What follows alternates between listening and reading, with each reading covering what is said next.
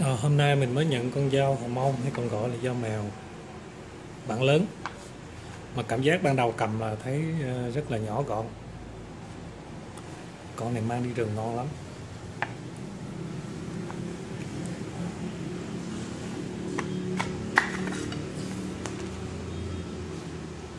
Độ dày khoảng ờ, 7-8 mm cán làm rất là đẹp. Gỗ cẩm chỉ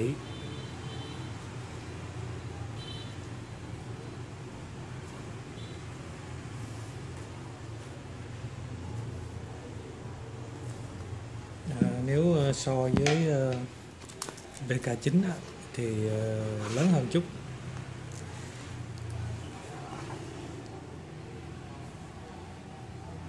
Độ dày thì hơn nhiều.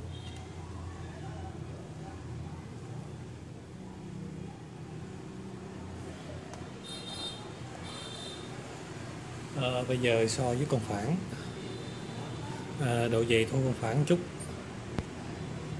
ngắn hơn cũng chút.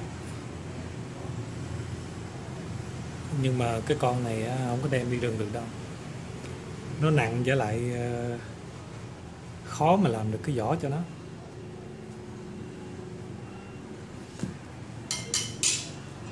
Mới ban đầu thì cái thép này mình cảm giác là mài rất là dễ. Độ bén rất là cao.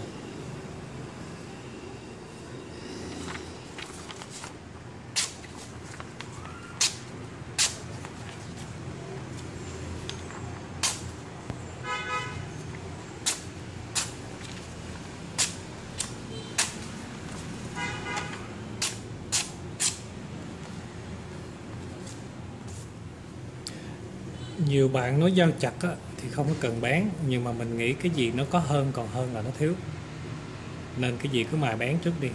Rồi mình xài nó sẽ cùng chậm hơn là là là cái dao ờ, cái dao mà đã cùng rồi nó càng cùng nhanh hơn nữa.